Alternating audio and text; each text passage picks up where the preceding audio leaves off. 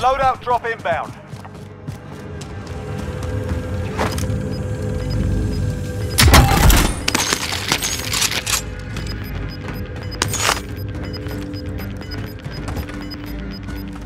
Got gas inbound. Safe zone relocated.